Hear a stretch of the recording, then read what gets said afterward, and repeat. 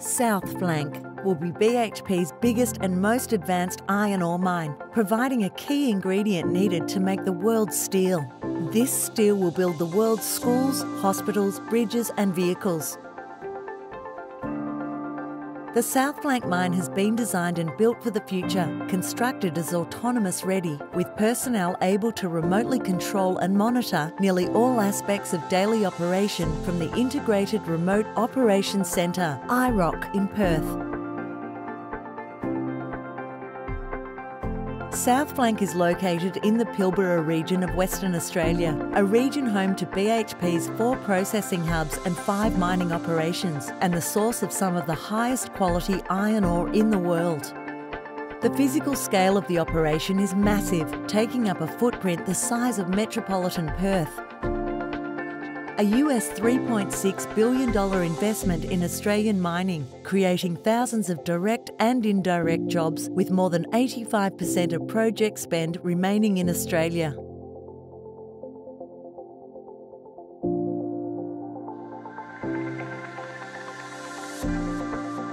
South Flank's autonomous ready production drills are already controlled by IROC in Perth.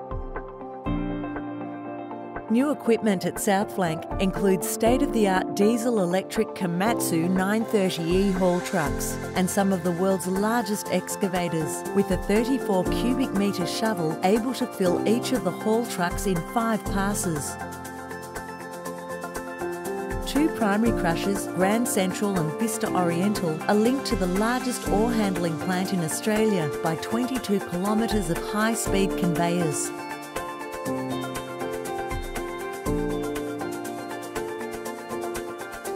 Ore is delivered to the primary crushers at an average rate of six Olympic swimming pools per hour by the fleet of 41 haul trucks, each able to carry over 300 tonnes of ore.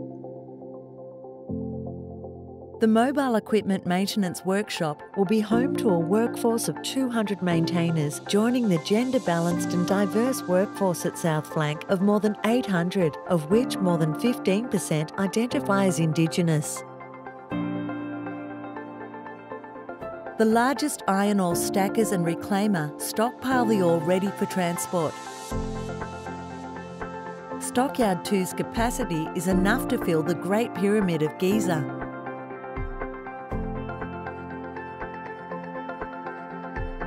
Huge rail-mounted machines will move 145 million tonnes per year through two train loadouts. South Flank combines with existing mining Area C infrastructure to form one of the biggest iron ore hubs in the world. With a 5 million tonne capacity, Stockyard 2 is connected to the largest ore handling plant in Australia.